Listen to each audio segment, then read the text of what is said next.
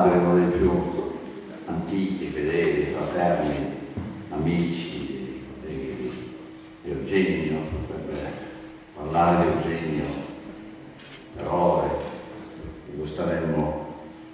volentieri ancora ad ascoltare, ma eh, tocca, non tocca volentieri con la parte, ci sono due relatori che devono, eh, cui tocca parlare, colleghi, allievi, Eugenio, Giovanni Filora, no? Università di Torino e Clementino Mazzucco, Università di Torino. E direi di seguire questo ordine, se d'accordo, darei la parola a, Giovanni Filora. Grazie, Beh, per me è un piacere e un onore poter partecipare a questo eh, omaggio. Eh, io qui rappresento, se così posso dire, anche la voce dal basso, perché sono stato lì certamente Corsini non si ricorderà,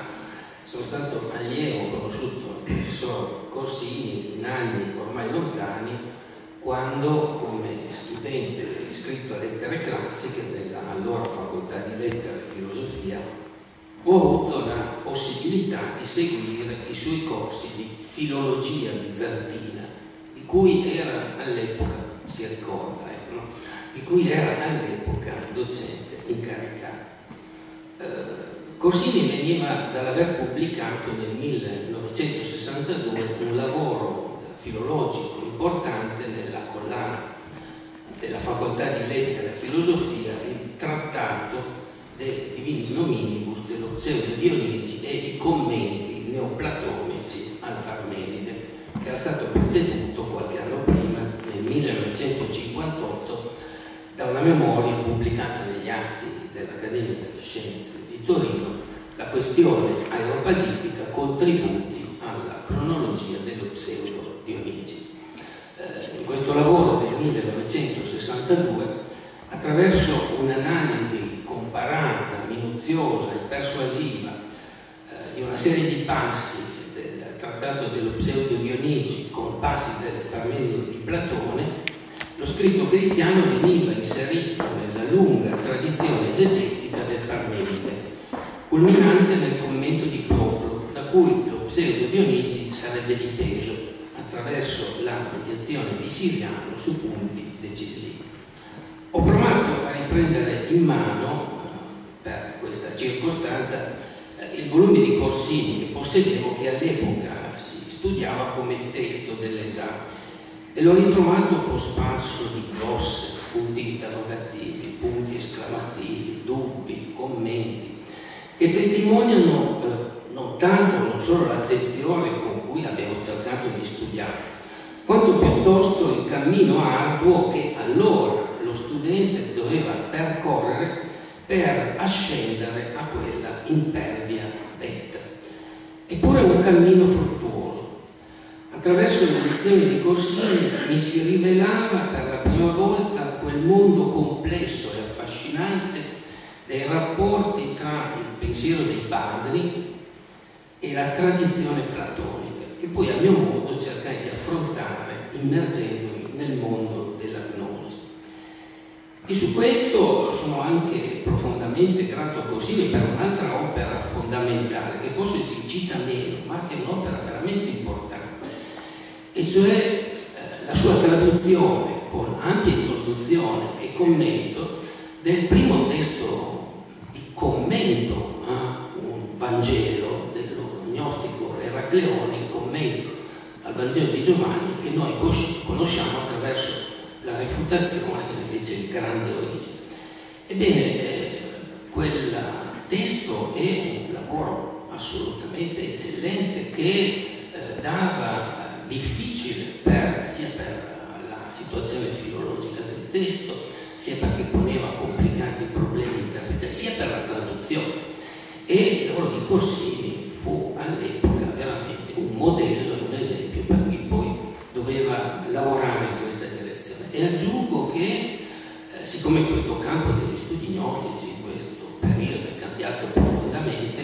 l'interpretazione che diede Corsini di questo rapporto Eracleone, origine, testo, testo biblico rimane di straordinaria attualità.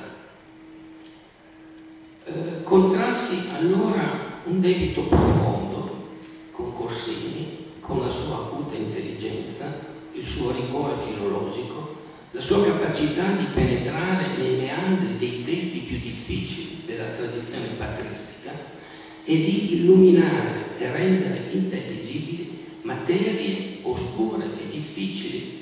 a un noeron inferiore come me,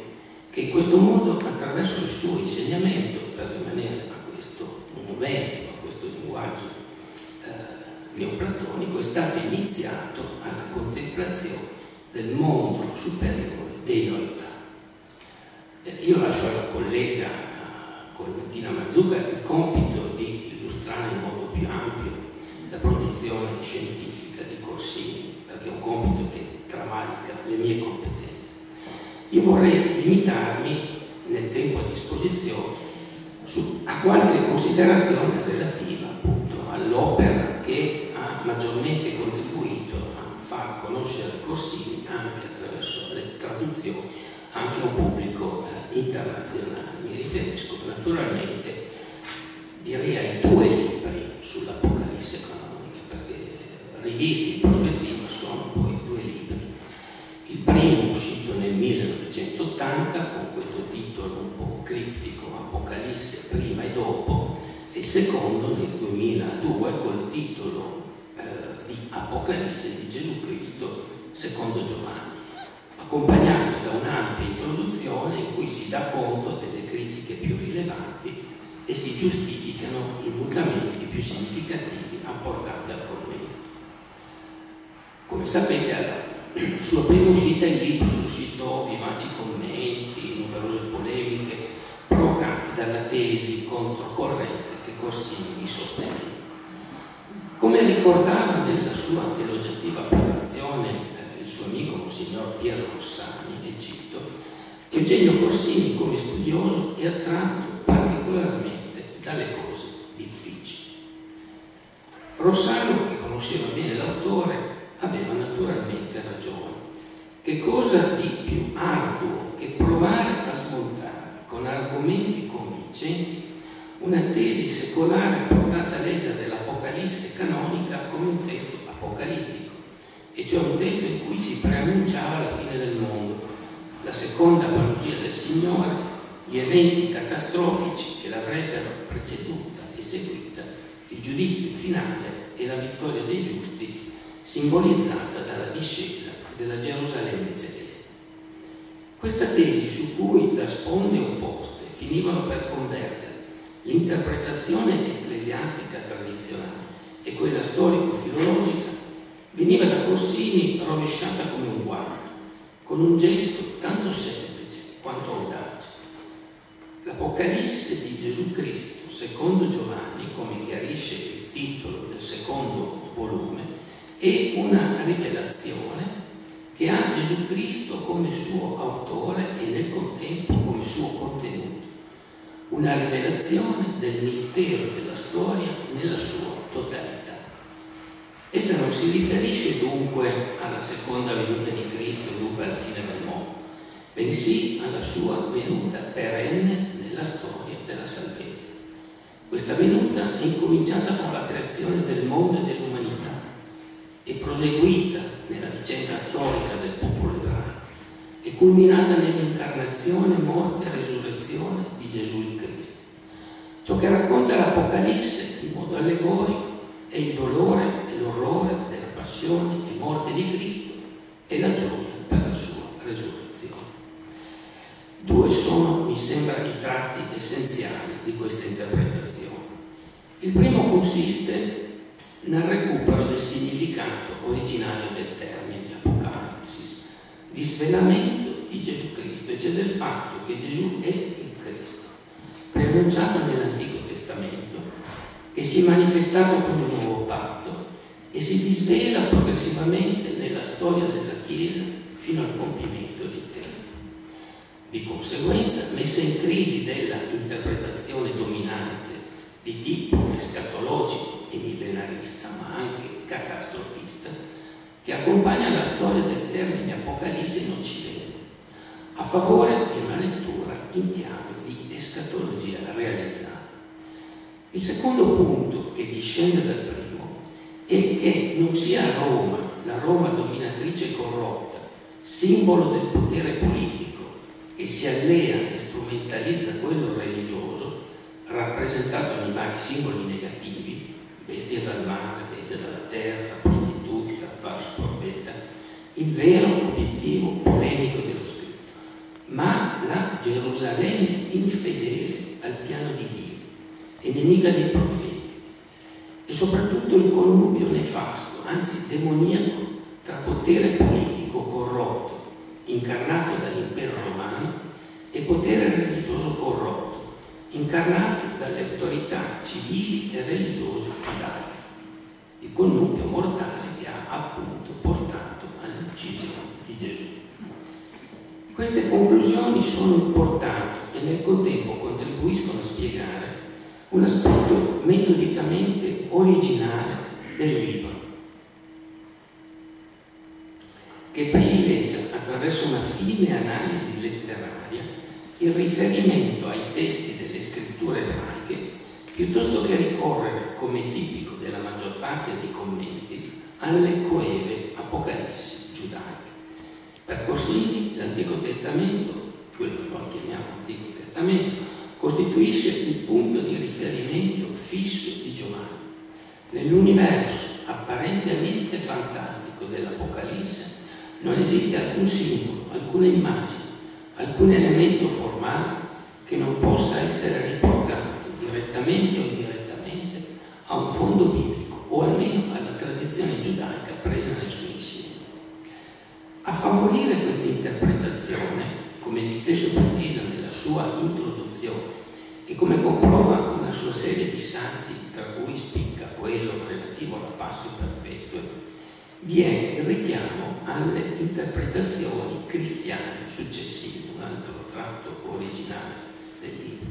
che la lessero per esempio in Africa, terra di martiri, non in chiave millenarista. Una tradizione, sia detto a passato, ripresa dal donatista Ticonio e che sta alla base del capolavoro di un altro autore caro Corsini, come Agostino, e cioè la città di Dio. Mi limiterò a ricordare, visto che ho menzionato la traduzione del commento di Eracleone al Vangelo di Giovanni, l'importanza che per Corsini ha avuto nel costruire questa chiave di lettura l'interpretazione originale della visione del Logos che scende dal cielo seduto su un cavallo bianco e avvolto in un mantello intriso di sangue, insieme a quella del commento di Ippolito relativa alle sette teste della bestia su cui siede la prostituta. Di contro alla lettura storico-filologica, ma anche a quella ecclesiastica, che tendono a leggere il dopo col prima, reinserendo l'Apocalisse giovanile nel contesto della letteratura apocalittica giudaica coeva, Corsini tende a rileggere il prima col dopo, e cioè alla luce delle successive letture dei cristiani della grande Chiesa, mostrando come era andata definendosi l'essenzialità cristiana del testo, entro una Chiesa consolidata in comunità, capace di rileggere l'intera Bibbia alla luce di un lungo passato che esse vivevano ormai come veros Israele. La novità della lettura di Corsini è dunque consistita nel rendere convinto il lettore contemporaneo che il problema ermeneutico dell'Apocalisse esigeva che per comprenderla in modo adeguato si partisse da una visione non apocalittica in senso tradizionale, dal momento che, come egli stesso sintetizza nella chiusa del libro, e cito, la rivelazione di Gesù Cristo, cioè la sua presenza nella storia della salvezza, è perenne, in atto fin dalla creazione del mondo e durerà fino alla fine del mondo. Fine della citazione. Lo scopo del testo canonico è dunque quello di rivelare Gesù Cristo come il fine dell'Antico Testamento e di tutta la storia che fin dalla creazione lo prelude e lo attende. E l'apice di cotesta rivelazione sono la sua morte e la sua risurrezione che inaugurano un'età nuova, chiamando all'essere un popolo regale e sacerdotale. la morte e la risurrezione di Cristo sono così il cantus firmus di tutta l'Apocalisse, il tema illustrato, sviluppato, commentato in tutte le sue parti. Contrariamente a quello che alcuni studiosi vi hanno rimproverato, accusandolo in questo modo di voler demitizzare la visione tradizionale, va detto, a mio modo di vedere, che si tratta invece di una lettura pienamente, tra virgolette, cattolica, nel senso che in una chiave per certi aspetti agostiniana, la Chiesa dell'Apocalisse è la nuova Gerusalemme che riprende e incorpora in sé, estendendoli a tutta l'umanità, i privilegi e l'amore che Dio aveva manifestato per l'antica Gerusalemme, chiamata nelle scritture la città amata. La nuova Gerusalemme non è una realtà che si colloca oltre la storia o che sarà realizzata dopo il ritorno di Cristo a sconfiggere i nemici suoi e dei suoi fedeli. Essa è già qui e ora la nuova umanità che Gesù Cristo ha riscattato dalla schiavitù delle forze malvagie. Questa demolizione dell'interpretazione messianico-rivoluzionaria dell'Apocalisse non implica alcun atteggiamento quietista, bensì, come un critico ha acutamente osservato, un attivo impegno da parte del cristiano, ma aggiungerei anche da parte di cristiani, di chi cristiano non è, ad affrontare di continuo, individualmente e collettivamente, il male e il disastro e a risorgere dopo le sconfitte, anche catastrofiche, proprio perché non c'è da attendere alcun intervento apocalittico da parte di Dio e perché nella storia della salvezza da parte di Dio tutto è compiuto, il futuro è affidato alle mani dell'uomo. Questo ruolo fondamentale dell'uomo è più alto, è meno consolatore delle terrificanti e vaghe sciagure che possiamo vagheggiare. Scusate, perché la loro tragedia ineluttabile ci libera dalla nostra responsabilità e dal dovere di contrastare e confonde l'angoscia per la nostra morte individuale nel rogo universale. Ripensando al ruolo centrale che questo testo ha avuto nella produzione scientifica e letteraria di Corsini, si è quasi inevitabilmente, avviandomi al tempo di queste rapide osservazioni, condotti ad interrogarsi sui possibili motivi di questa centralità, in ciò indotti anche da alcuni cenni che quella l'autore ha fatto sulle radici lontane di questa sua passione. Nella introduzione al libro del 1980, Corsini descrive pagina mirabile il fascino misterioso che il libro, come un sacro, fascinans e nel contempo tremendo, di cui sentiva dire, ma che non conosceva, esercitò su di lui. Permettetemi di citarlo. Me lo rappresentavo quindi come qualcosa che mi attirava e mi faceva paura al tempo stesso. Qualcosa di simile a ciò che provavo quando mi mandavano a certa sorgente a prendere l'acqua per i mietitori nelle calde giornate estive. L'acqua sgorgava lì quasi al margine del sentiero, da un canarozzo fissato alla meglio con delle pietre.